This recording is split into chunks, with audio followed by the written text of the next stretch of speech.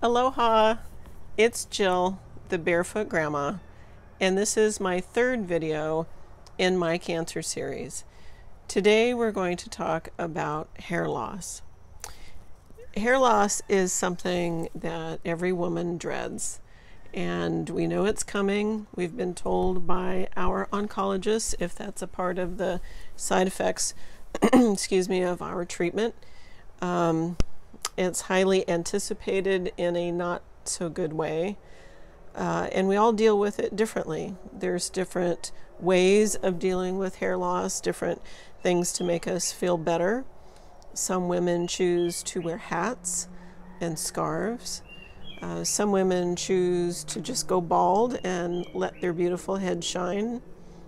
Some people get tattoos on their head to make a statement or be a little bit of a rebel. Um, some women um, uh, tend to wear wigs. Uh, and there's certainly a wide variety of wigs to choose from, and they're much more comfortable now than they used to be. They used to be quite scratchy and and hard on uh, hard to bear on our sensitive heads. Um, or you may go with a combination of all of the above. For me, um, well, I'm getting ahead of myself. Let me start with uh, leading up to, to going bald. Um, I kind of, in some weird way, was hoping I'd go bald sooner rather than later. And so, right after my first chemo, um, I started this process of tugging. And I, I can only imagine that a lot of women do this. I've never really talked to anybody about it, but I just think uh, it's natural. It's you know it's coming. You're not quite sure how it's going to happen. Are you going to wake up and it's all gone? Um, I know some people have woken up and there's lots of hair on their pillow. Um, but for me, I just it was almost got to be a nervous tic. Uh, if I'd think about it, I'd tug to test and see if my hair was coming out.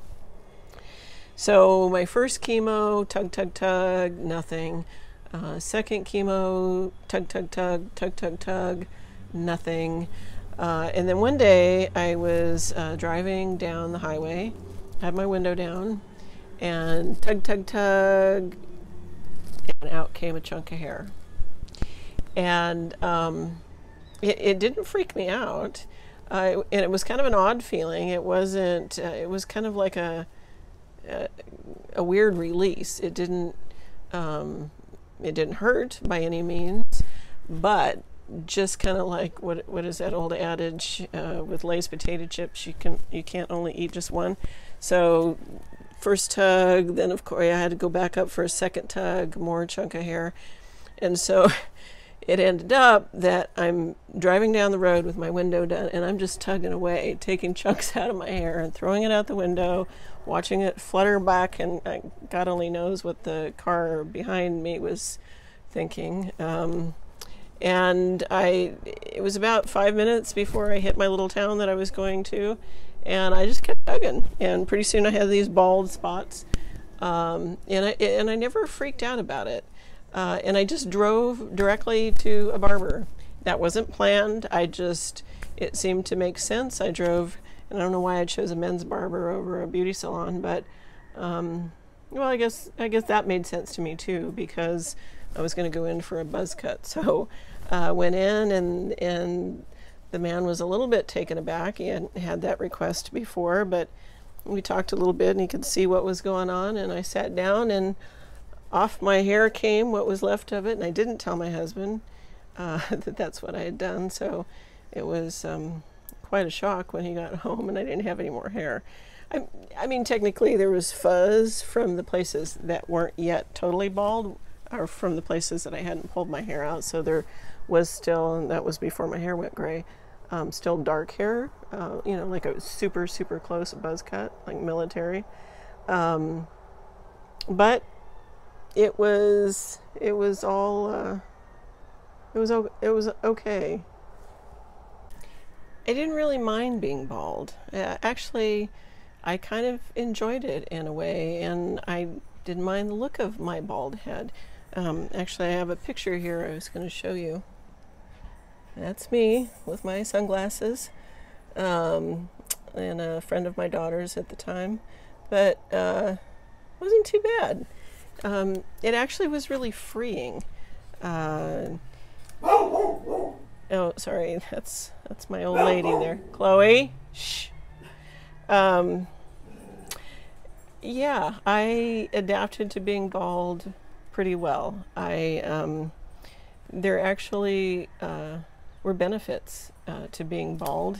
It uh, I chose not to wear a wig. I think I might have tried one on, but I didn't like it.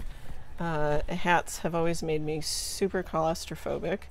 Um, scarves aren't my jam. Uh, so I just liked the freedom of being bald and wasn't quite going to go the tattoo route. Um, but the benefits of being bald actually were pretty significant because it almost tells people around you that you do have cancer.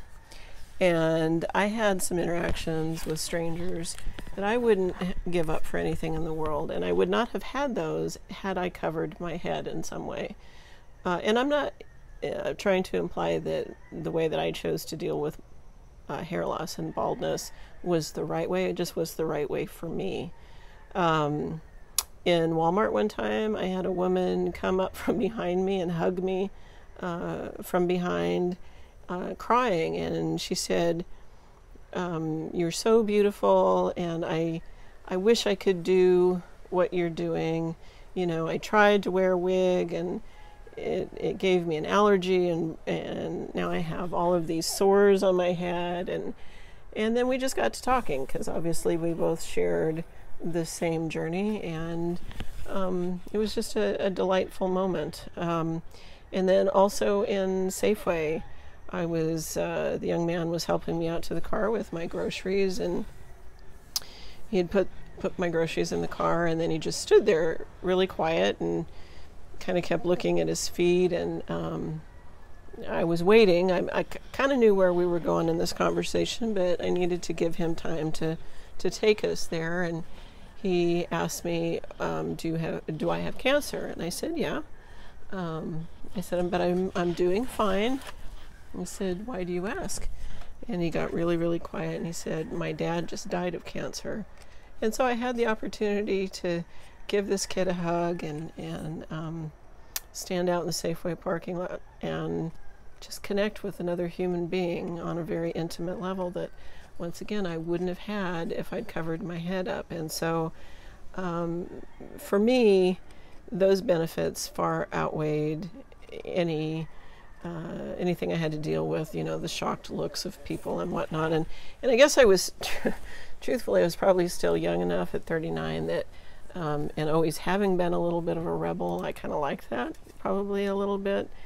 Um, but I will tell you that uh, I kind of went back in preparation for this video to, to read about hair loss from um, the chemo that I had at the time, which was adriamycin and cytoxan. And, and they talk about generally people lose their hair, and, and some people might lose hair on other places on their body. Well, I seem to do everything in, in great extreme, and so I lost every hair, every pubic hair, every hair under my arms, on my legs, hair on my nose, no eyelashes, no eyebrows. I was as bald as a billiard ball, truthfully, on every level.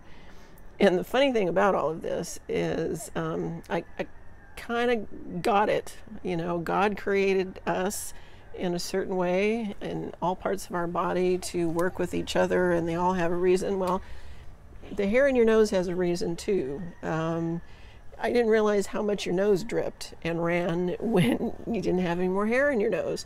So it gives you a, a greater sense of appreciation for the small things in life, I guess I would say. Um, you know, all of that was 19 years ago. I don't know if I'd go bald now if I had a relapse or a different cancer. I don't know if I would be as fierce in myself, uh, in my walk that I was then. I kind of think I would be, but you know, I'm older, you know, I'm getting wrinkles like all of us do, and you know, my skin's going south a little bit. So, you know, I might not have the same confidence, but whatever, it, it, God forbid that happens, but if it ever did, you know, I, I guess my message to this fairly short video is do you. In all things, in all steps of this journey, um, do you. Do you the best way, the most comfortable way, the most safe way that makes you feel the best, because that's the right way. Anything else, not being true to yourself, following other people's advice, doing what your husband wants you to do, or your, you know, not necessarily your doctors, but, you know, feeling pressured to do something, feeling funny because you don't have hair, um, you know, whatever it is, let that go. Uh, there's, you can go back to that afterwards if you want to, and hopefully you won't want to, but um, this is a time to do you and screw everybody else, truthfully. Um, so if you want to wear hats, then go buy a bunch of hats, make them wild, make them elegant, make them simple, do you. If you want to do scarves, go buy a bunch of fun ones and do you. If you want to get a tattoo, that's ultimately doing you because you're going to have that the rest of your life. So, um, you know, embrace it. I believe you're going to make this. So look at this as an opportunity in your life to do things that you never would have signed up for, but embrace it, have a little fun with it. I encourage you to laugh. Laughter, truthfully, is the best medicine. And this is completely off topic, but I had a friend that moved from the area that I lived in and moved to Austin, Texas, and she was kind of a um, sarcastic gal like myself, and we both like sarcastic humor. So you know, we weren't entirely close, but her contribution to supporting me is every day or several time uh, several times a week she'd send me some ridiculously sarcastic joke or and it made me laugh. I looked, I craved to be able to laugh. It doesn't mean I didn't cry. I had my share of those dark moments, but how how we do it, how we do cancer, I think has a lot to do with our with the end result because um, being positive, not always, it, it's impossible to be positive always, but to be true to ourselves and to be silly and to dance in the rain because it feels different when you don't have any air. You know, do those things that just you're never going to have the opportunity to do again. Shock people, you know, take the opportunity to be fierce. That's my message today. So, whether you have a friend, going back to if you have a friend, support them in doing them. If it's you, can't say this enough, and it's kind of a weird thing that people say these days do you, and I can't, it, it's no more, or it's not better fitting than this circumstance. Um, have fun. You can, it's okay to have fun even if you have cancer. And, and it's great role modeling for your family and your kids. You know, it's, the sadness and the tears and the moroseness that automatically come with this diagnosis is going to happen. Your family's going to have to deal with it. But I think our gift to them uh, is to, to still be able to laugh and to let them know that things are okay. So um, that's it today. I think it looks like 8 minutes and 50 some odd seconds, so that's a record for me. Um, not sure what the next topic will be please like these videos. It's really important. Um, I want to make more of these even after I'm done with cancer. I have other topics that I want to do. So liking, sharing, watching till the end, those are all really um, important and, and uh, uh, ways that you can support my videos and I would be so grateful.